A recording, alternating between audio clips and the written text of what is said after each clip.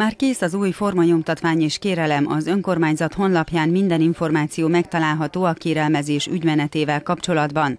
Augusztus 31-től épül be a gázár támogatás a lakásfenntartási támogatásba, amit az önkormányzat szociális osztályán kell kérelmezni.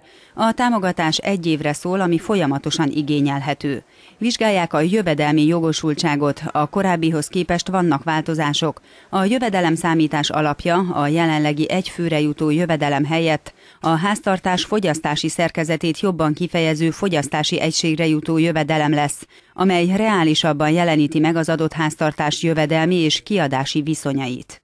Az egyik jelentős változás, hogy megnövekszik az egyfogyasztási egységre jutó jövedelem, ez 71.250 forint lesz, tehát addig fennáll a jogosultság, de vizsgálnunk kell a vagyoni helyzetet, tehát ez egy kritérium, illetőleg ha valaki megfelel a jövedelmi és vagyoni követelményeknek, akkor ebben az esetben legalább 2500 forint támogatásban fog részesülni, de az összeg az függ attól, milyen a családnak az összetétele, illetőleg a háztartásnak az összetétele.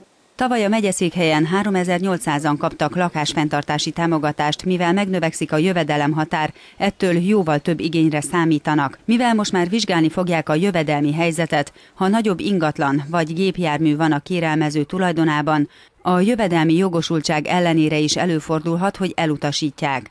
A gázár támogatástól függetlenül pedig lakásfenntartási támogatást, a már korábbi gyakorlathoz hasonlóan más közüzemi szolgáltatási díjra is lehet kérni, lakbérre, albérleti díjra, közös költségre, villany és vízfogyasztásra.